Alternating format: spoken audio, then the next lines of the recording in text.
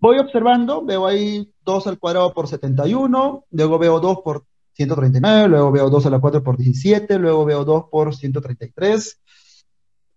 Ok, como que no veo un orden en sí en esta secuencia, ¿verdad? No, no, no veo un orden. Entonces, ya tendría que operar y ver qué número por detrás de esa operación están, están desarrollando. Entonces, vamos a colocar acá la relación de los números. Por ejemplo, a ver, ¿cuánto es? ¿Cuánto es 4 por 71? Ah, profe, esto es fácil de multiplicar. Ya, muy bien, vamos a hacerlo entonces. Sería 284, ¿no? Inmediato acá, 284. Muy bien. ¿Cuánto es 2 por 139? Ah, profe, ahí sería 278, ¿no? 278. Ah, ¿ves? ¿Ves? Vas colocando, ¿no? ¿Cuánto sería 2 a la cuarta? Sería 16 por 17. 16 por 17, profesor, es 272. 200. Pues, ¿cómo te has dado cuenta tan rápido, profe? Porque me estoy dando cuenta que está retrocediendo de 6 en 6, profe. Ah, y si tú multiplicas 2 por 133, que está fácil de multiplicar, te darás cuenta que es 266, que es lo mismo que 272 menos 6. Entonces ya tenemos una pequeña relación directa, ¿no?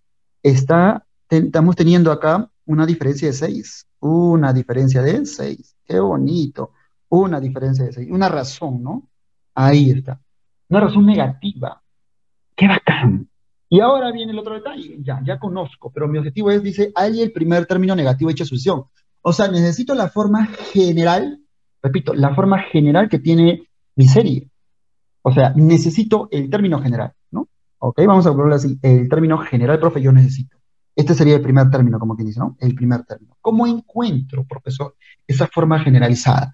Ok, a ver, vamos a hacer una pequeña descomposición para el 284, ¿ya? Porque todavía no sé qué forma tengo. Mira, yo estoy como, estoy, como, estoy en tu caso, ¿ya? Me pongo pilas y digo, ok, descomposición, descomposición, que es lo que siempre me han dicho los profesores en la academia, descomposición. Entonces, Digo 284, perfecto, voy a sacarle mitad, pero si le voy a sacar mitad, a ver, vamos a sacar por mitad, sería 1, profe, llego lo mismo, ¿no? Llego lo mismo. Ok, mitad, acá sería 4, sería 2, nuevamente mitad, y llego a 71, no voy a llegar a nada, profe. No llego a nada. Ok, vamos con el siguiente, a ver qué está sucediendo acá. 278, también voy a empezar a descomponerlo. Intentaré sacar la mitad también, ¿no? A ver qué, qué sucede, si tengo alguna o no, alguna relación acá. Ok, a ver, vamos a 278, le saco mitad, ok, me queda 1, acá me queda 139. Y no puedo hacer nada más. No, no, no, me está cuadrando, profe. Ok, sin embargo, mira lo que voy a hacer acá. Al 284, para que yo pueda sacarle tercia, si yo sumo las cifras, a ver, suma las cifras, acá sería 14, ¿no? Si tú sumas las cifras, 14, pero si le quito las dos últimas cifras, o mejor dicho, dos unidades a la cifra, ya sería un múltiplo de 3 para poder simplificar 3, ¿no? Igual acá, mira, mira, mira, mira, mira, te vas dando cuenta, tiene que ser rápido, ¿ah? 2 más 7, 9, acá sería 17. Si le saco dos unidades, sería 15 y sería también múltiplo de 3. Y podríamos llegar a un caso, sí. Entonces, al 284, en realidad va a ser 282, y no te olvides que al final va a ser más 2, ¿ya? Al 278 le voy a sacar dos unidades, sería 276 más 2. Ya está. Ojo, el 2 lo dejo, lo dejo ahí arriba. Ahora sí, hagamos la descomposición entonces, a ver a dónde se llega. Mitad de 2, ok, muy bien, 4, 1. Profe, ya no tiene mitad, pero tiene tercia. Ah, tiene tercia, ¿ves qué bacán, ¿no? Acá sería, por ejemplo, a 2, ¿no? Claro, perdón, a 4, profe, a 4, 4. Ok, a 4. Luego me queda 2, 21, entre 3, 7. Ah, bien, bien, bien. Vamos con el siguiente, a ver, vamos con el siguiente. Acá saco, le, le mitad, 1, ok. Acá prácticamente sería 138, ¿no? Ya sería 138. Muy bien. Profe, ¿todavía tenemos para sacar la mitad? Sí, pero si ya le hemos sacado tercia, quítate el primero, ¿no? La idea es que se parezca mucho al primero. Entonces, sácale tercia. Ok, si le saco tercia, profesor, acá me está saliendo 46.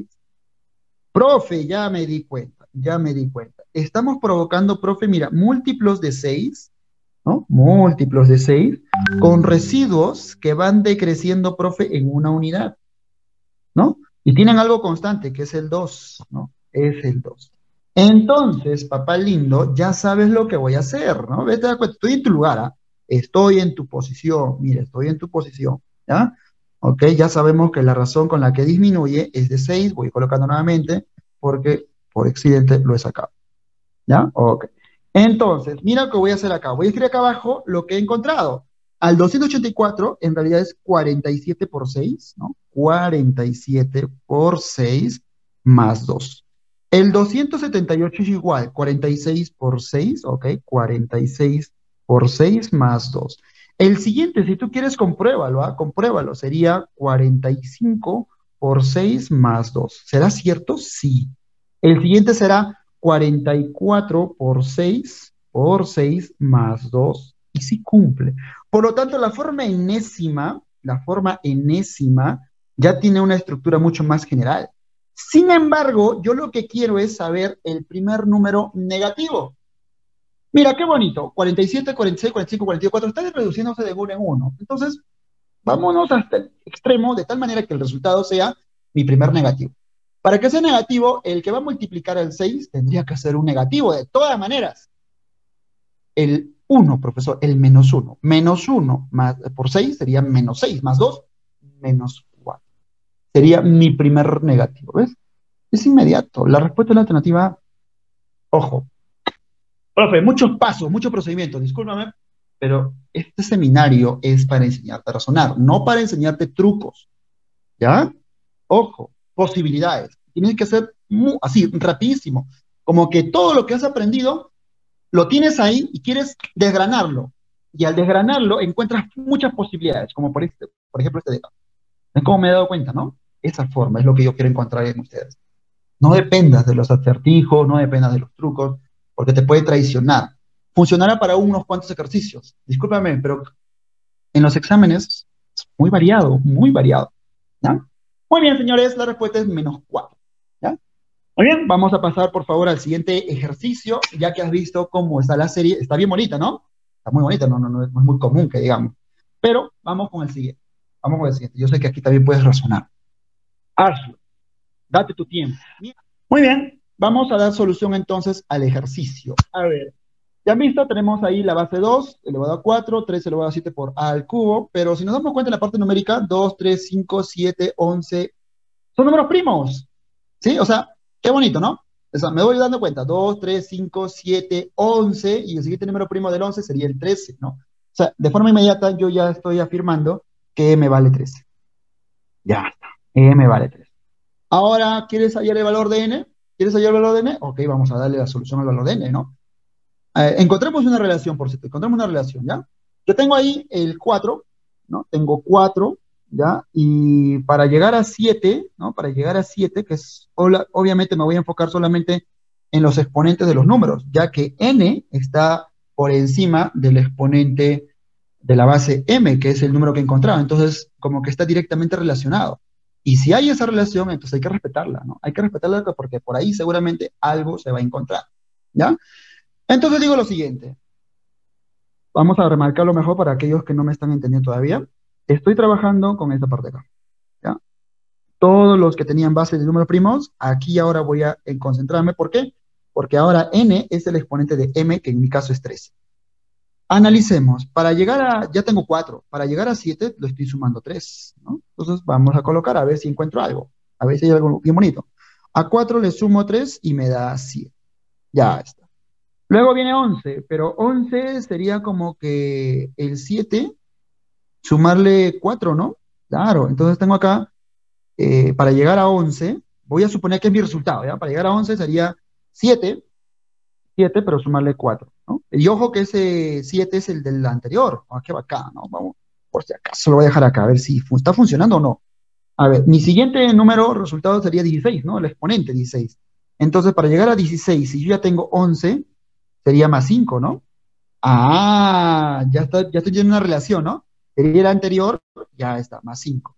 El siguiente resultado es 22, ¿no? No estamos, no estamos, estamos jugando, estamos jugando. Posibilidades, posibilidades. 22. Entonces sería 16 más 6, ¿no? ¿Por qué? Porque estoy arrastrando el 16 cuyo resultado ya lo tenía. Ahí está. Entonces ya llegué al último, ¿no? Ya llegué al último. ¿Quieres hallar n? ¿Quieres hallar n? Será el 22, el 22, ¿más cuánto? ¿Más cuánto? A ver, deja tus comentarios ahí. Tengo 3, 4, 5, 6, obvio, más 7. Entonces el valor de nf, el valor de nf, 29. Ajá, qué bacán, ¿no? posibilidades. No hay nada nuevo, no te estoy dando fórmulas ni nada por el estilo. Estamos encontrando resultados inmediatos, ¿ya? Resultados inmediatos. Ahora vamos con B, ¿no? B en este caso, ¿dónde está B? B está en la... Eh, ah, ok, está como exponente de la base A. y yo ya tengo todos los que son bases A. Entonces, si observo, digo acá, A elevado a 3, 6, 12, 15, me faltó el 9, porque tengo de 3 en 3. Me vale 9. Así tan rápido, profe. Sí, fresco. B, tome el valor de 9. Ya está. Ahora, vamos con el reemplazo de lo que me han pedido. Ya no está difícil, ¿no? Me dicen, acá si quiero lo escribo, tendríamos n menos 2m elevado a m menos b. Reemplazando los valores, por favor, reemplazando los valores. Acá, ¿qué tendríamos? Tendríamos n, n, n, n, n, 29, profe, 29, muy bien, 29, ayúdame, ayúdame. 2 por 13, 2 por 13, 26, profe, 26, muy bien. Elevado a m, 13, 13, profe, menos b, profe, menos 9, ya está. Aquí adentro aparece 3, muy bien, arriba me sale 4 y 3 a la 4 es 81. O sea, la respuesta sería la alternativa C, ¿no? Ahí está. Bonito, elegante, tranquilo, sereno, no te vuelvas loco, solamente escribe lo que te están dando y por ahí nace una idea, ¿ven? ¿Cómo nació una idea? No, no me estoy inventando las cosas. Esto es mucho más poderoso estar, digamos, intentando aprender una fórmula. Porque este es solo un caso particular. Imagínate, este problemita, si no lo has visto, así como esta que no has visto, vas a ver miles de ejercicios que no vas a ver tampoco. Entonces es mejor razonar, despertar en ti esa curiosidad y acostumbrar a tu mente a tomar decisiones rápidas. De eso trata también el curso de razonamiento, aprender a tomar decisiones rápidas con los conocimientos que ya tienes. Ok. Muy bien, Vamos con este ejercicio que también es elegante, es bien bonito, tranquilo, por favor. Velo es una sucesión, es una sucesión, dice hallar el valor de x en la sucesión. Entonces, ahí lo tienes, no parece tan fea, pero puede que tenga su, guardadito ahí interno, ¿no? A ver, vamos, vamos. ¿Cómo van? ¿Todo bien? ¿Les está gustando? Para hacer continuas estas transmisiones, ¿ah? Para hacer continuas. Los que ya me conocen saben que no solo domino razonamiento matemático, sino que también domino todas las áreas. Bueno, es mi carrera, no, no, no es que me haya preparado solo para un curso específico, es mi carrera, por eso yo me inspiro por enseñar todo. Igual física, química, puesto también que he estudiado la carrera de física en la San Agustín, entonces es mi pasión también. Entonces todo ello, profe, ¿usted enseña todos los cursos? Sí, enseño todos los cursos. ¿ya? Al igual que el grupo de docentes que forma parte de la Academia Preparatoria de Ciencias, todos enseñan todo. ¿Pero por qué, profe? Porque es una academia solamente de matemática, física, química. No enseñamos temas de letras, Claro que está incluido lo que es biología, eh, también está el curso de razonamiento verbal, eso es o sea, está dentro, tiene que estar, ¿ya? Así que todos conocemos el talón de Aquiles de cada estudiante. Sabemos por qué no te gusta física, sabemos por qué no te gusta química. Hay un motivo detrás. Y eso, ese es nuestro trabajo, ¿no? Encontrar el gusto, más allá de los conocimientos. Esos conocimientos sí o sí los vas a tener, ¿no? Muy bien, muy bien. A ver, vamos por acá. A ver, vamos con el ejercicio. A ver, ¿qué me dice? Me voy dando cuenta lo siguiente, ¿no? A menos 8, a menos 11, a menos 14, como que veo que estoy restándole 3, 3, 3, 3 a la base, ¿no?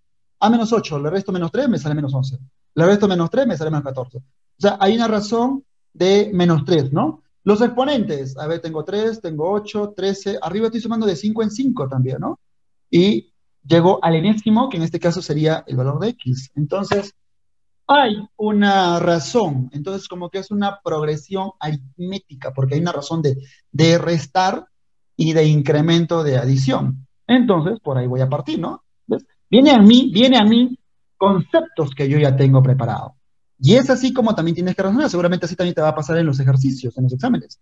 Viene a ti esos conceptos. A ver, primero, hablemos de la base, ¿ya? En la base te das cuenta que hay una razón, ¿verdad? Hay una razón.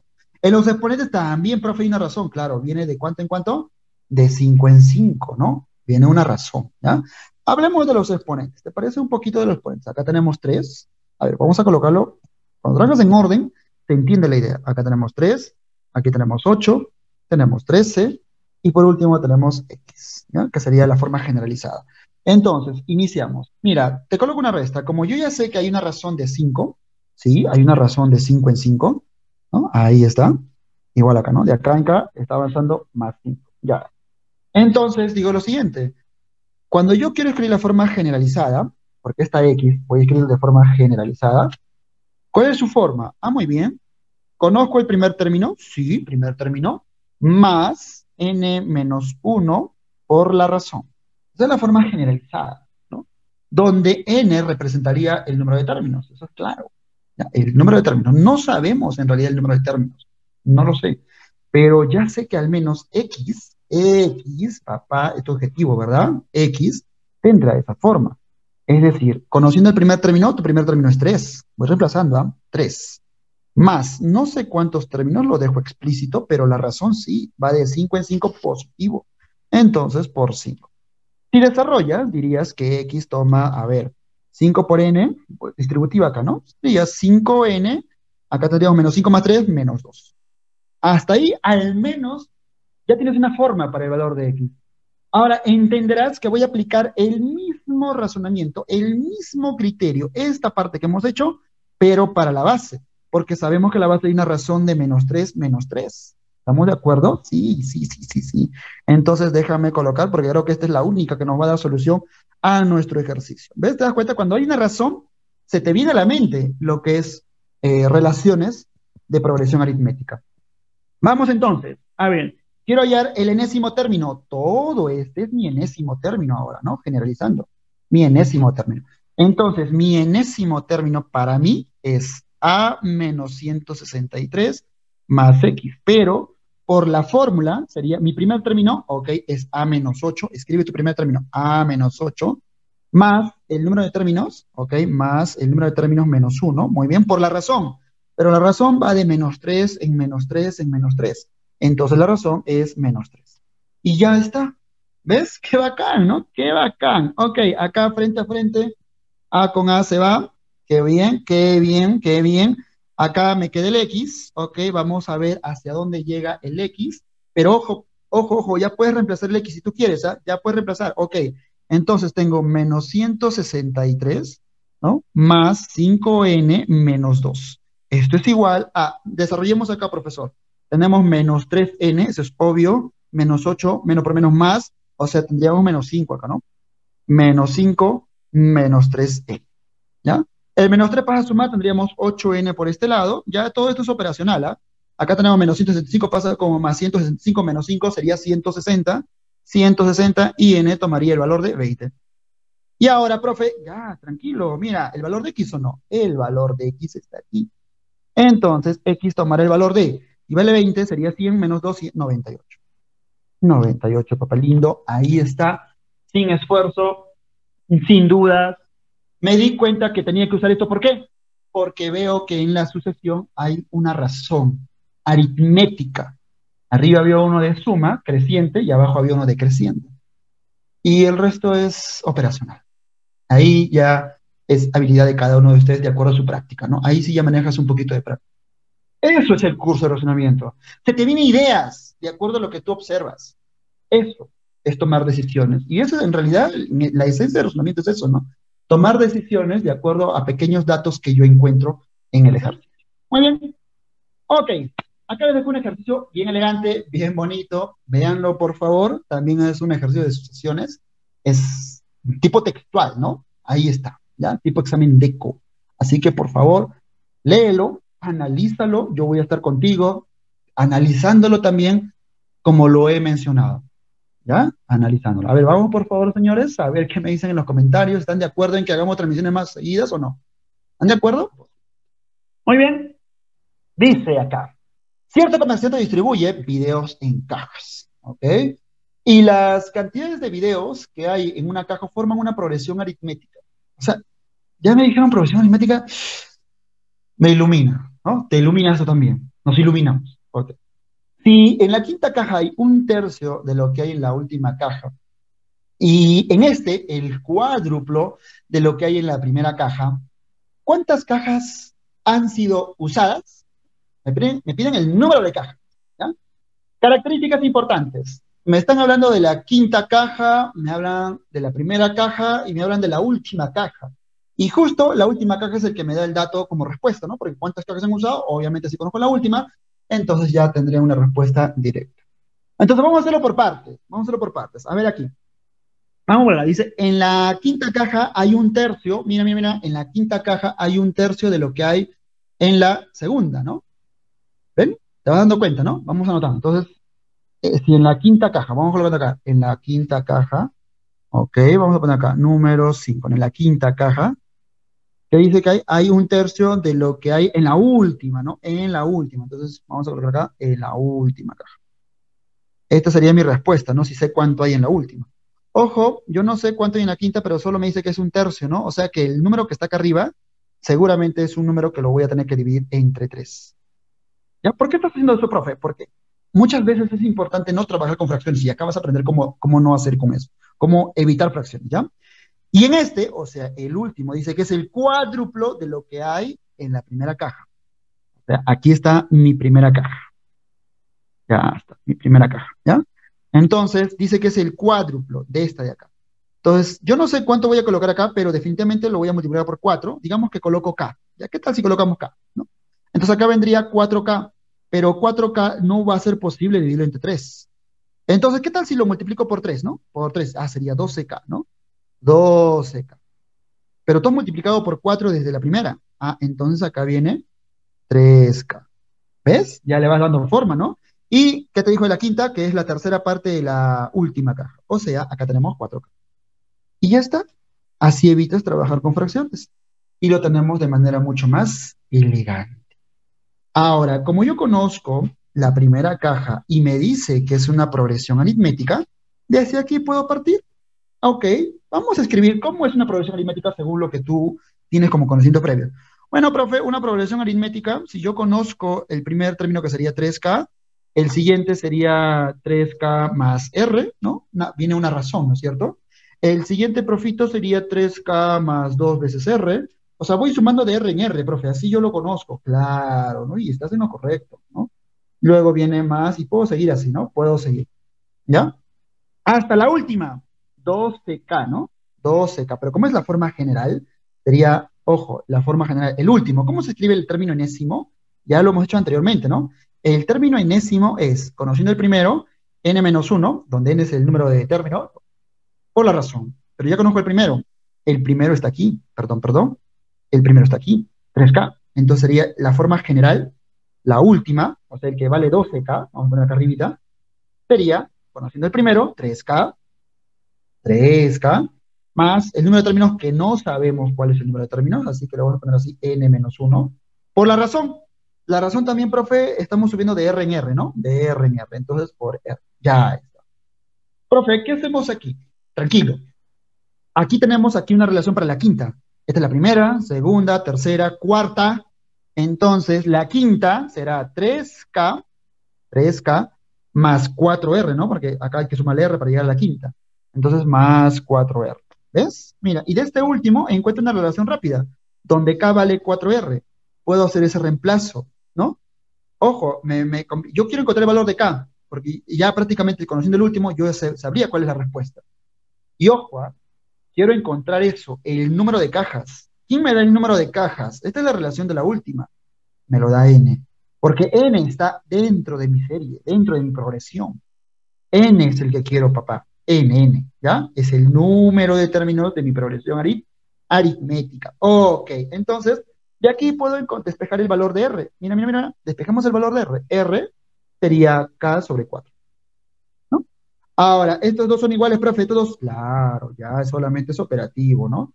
Tú estás diciendo que es 12K, que es el último, debe ser igual a 3K más N menos 1 por R. Pero, ¿por qué no? Por K sobre 4. Se resolvió. Ya terminamos. Ya terminamos. Ya el resto es tuyo, ¿ah? Mira, frente a frente, todos tienen K, todos tienen K, todos tienen K, ¿ves? Vas a encontrar el valor de N. Rápido, es así de simple, mira, mira, todo por 4, todo por 4, 12 por 4 sería 48, ¿no? Veamos por acá, 48, muy bien, es igual a 3 más N menos 1, ¿no? Ya está, el 3 acá sería 2, acá sería, a ver, vamos, acá, perdón, 3. Profe, ¿por qué colocó ahí 3? Eso es lo que quiero saber, profe. A ver, nosotros estamos reemplazando el valor de K. ¿cierto? El valor de K. Ojo, ¿ah? 3 pasa a restar, sería, a ver, 45, vas a sumar 1, 46, profe, 46. me vale 46. Profe, por favor, no me van a preguntar de cómo lo he resuelto ni nada por el estilo, porque estoy multiplicando todo por 4. 48, 12, 12, todo por 4, todo por 4, ¿ah? acá por 4, con este 4 ya se simplifica, entonces acá cae. Entonces acá sí, el 12 pasa sería 36, 36 luego más 1, 37. ¿Ya está? 37. ¿Y tú qué querías? El número de cajas, 7. ¿Se acabó? N representa el número de términos que hay. Primera caja, segunda caja, tercera caja, enésima caja. Enésima caja. Recuerde que esta forma es del término enésimo, el valor de n, enésimo. ¿Ya? Si por ahí todavía no tienes conceptos de lo que es progresión aritmética, pues ya te estoy dando pequeños conceptos adicionales. ¿Ya? Estoy en tu rol, estoy haciéndolo como un estudiante. Así que si por ahí comete una suma, un error en una suma, una resta, es muy probable que eso suceda, pero estamos juntos, estamos juntos, ¿ya? Son parte operacional, el razonamiento ya lo tenemos claro. Muy bien, vamos con esta. Mira, qué bonita, qué bonita, ¿ya? Parece bien simple, ¿no? Parece simple, pero vamos a ver si por ahí algo nos, nos sirve. Ojo, estos tres, cuatro ejercicios de progresión aritmética están encerrando todo el curso de, de progresiones, ¿ah? Todo el curso de progresiones aritméticas. Así que acá tienes otro caso muy interesante que es muy común en el resto de ejercicios. O sea, los métodos que estamos operando acá son muy generales, son muy generales. ¿ah? Así que por favor, ahí te los dejo. Vamos, por favor. Ustedes pueden sacar una respuesta. Yo sé que sí. Todo lo que es operacional, ya eso, por favor, son habilidades personales, ¿no? Yo sé que algunos lo hacen mucho más rápido, otros lo hacen más, más lento, pero eso ya solamente es con práctica. eso es con práctica. Muy bien, ¿están conmigo? ¿Sí? ¿Están conmigo? Continuamos. Muy bien, muy bien. Si a mí ya me están diciendo que esta es una progresión aritmética, o sea, una progresión, hay una razón de cuánto en cuánto avanza. Y eso de cuánto en cuánto avanza, ¿cómo lo encuentras? Como la diferencia de dos términos. Yo resto estos dos, debe ser igual a la resta de los otros dos. Y eso deben ser iguales. ¿Por qué? Porque estoy llegando a la razón. Y de ahí, parto. Tu objetivo primero sería el valor de x. En esas dos ecuaciones que estás planteando, ahí seguro lo encuentras el valor de x. ¿Quieres ver? Ok, vamos por acá, por favor. Como les mencionaba, vamos a restar estos dos de aquí para hallar qué? La razón. El mayor menos el menor. Voy a suponer eso, ya que es creciente. Entonces tendríamos acá x a la cuarta menos 2x al cuadrado. Esa es la razón. Esa es la razón. Pero debe ser igual si yo hago la resta de estos dos también. O sea, 24 menos x a la cuarta. 24 menos x a la cuarta. También sería la, ra la razón. Pero ya tengo una ecuación. Una ecuación. Aquí debo encontrar definitivamente el valor de x. Lo voy a hacer paso a paso por ti. Entonces acá tenemos menos, menos x a la cuarta, pasa a sumar. Tendríamos acá entonces 2x a la cuarta menos 2x al cuadrado viene por acá. Y esto es igual a 24.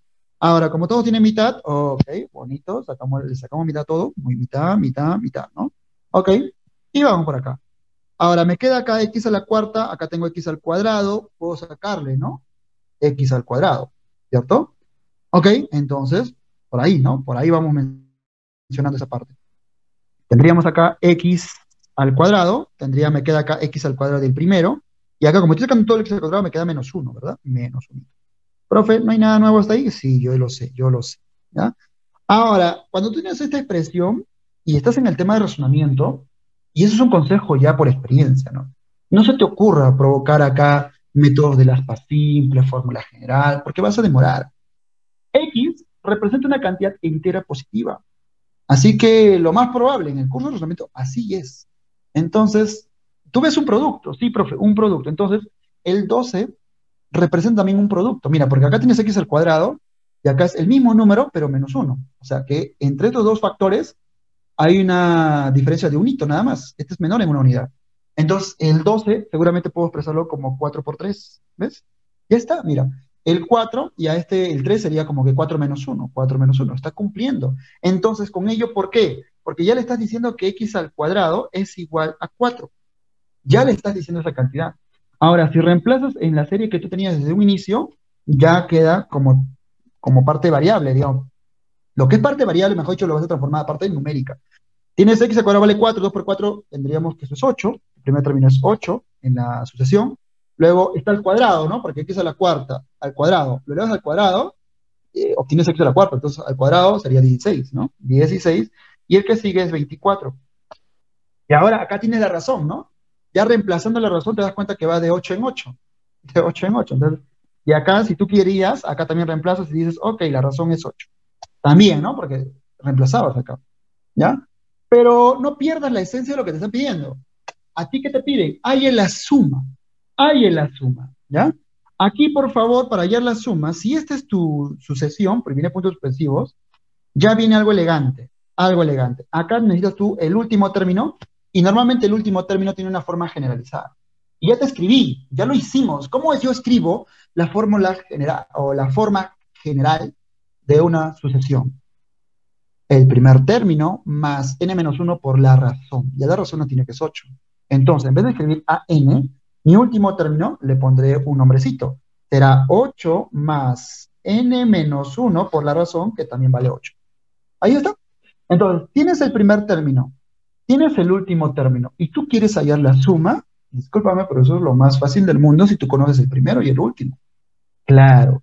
Tú quieres hallar la suma, mira, mira, mira. La suma sería el primer término más el último término sobre 2 por el número de términos. El número de términos obvio aquí es n. Ese es mi número de términos. ¿sí? El A1, ¿quién es? 8. ¿Quién es el AN? Todo esto, ¿no? Todo esto. Entre 2 por n. ¿Acabo? Pero eso está igualado a cuánto? A 10.200. ¿Ya? Ojo, ojo, ¿ah? Vamos reemplazando, ya vamos reemplazando. A ver. Entonces acá tenemos, vamos a hacerlo con verde o con azul mejor. 10.200 por este lado va a ser igual a el primer término es 8, muy bien, es 8 más, el último término es 8, muy bien, mira, mira, 8 por, perdón, más n menos 1 por 8, ¿no? Y todo esto sobre 2 por n, ¿no? Que es mi número de términos. Ok, este 2, si quieres, mira arriba, si tú quieres puedes factorizar todo el 8, ¿no? Factoriza el 8, pero luego vas a cancelar entre 2. O simplemente sácale mitad, mitad, mitad, ¿no? Mitad a cada término y te queda 4. Ese 4 va a pasar a dividir a 10.200, ¿no? Y va a dividir a, 10.200 el 4 que te resulta, porque estoy factorizando arriba todo el 4 que te va a quedar. Entonces en este lado tendríamos 2.550. Muy bien. Y arriba, operando, como esto ya me queda 1, más 1, 2, menos 1 sería más 1, ¿no? Entonces, n más 1 me queda acá. n más 1 por n. ¿Ya está? Ahora viene la pregunta. Igual, el mismo concepto. Igual que acá, no se te ocurra generar una ecuación cuadrática en por paciente porque vas a perder tiempo. Busca dos números que multiplicados te den así, esta, esta forma. Un número mayor que el otro por una unidad. Aquí, ¿cuál sería? 51 por 50. Esto es 51 por 50, esto es legendario, esto es bien conocido. Y si me dice, profe, ¿pero cómo se da cuenta? Tranquilo, hay una cosa que también es cierto. La práctica hace al maestro. Si tú ya dominas un tema, que te corresponde a ti practicar. Y una de ellas es esto, ¿no? Habilidades de multiplicación por 5, que es lo mismo que por 50. La técnica de multiplicación por 5, ¿cómo lo encuentras? Eso también les he enseñado. Si no lo sabes, está en la página, búscalo en los videos abajo, ¿ya? Acá tenemos 51 por 50. Entonces, n vale 50. ¿Ya está? ¿No? n vale 50. Muy bien. Se acabó. ¿Y qué te preguntan?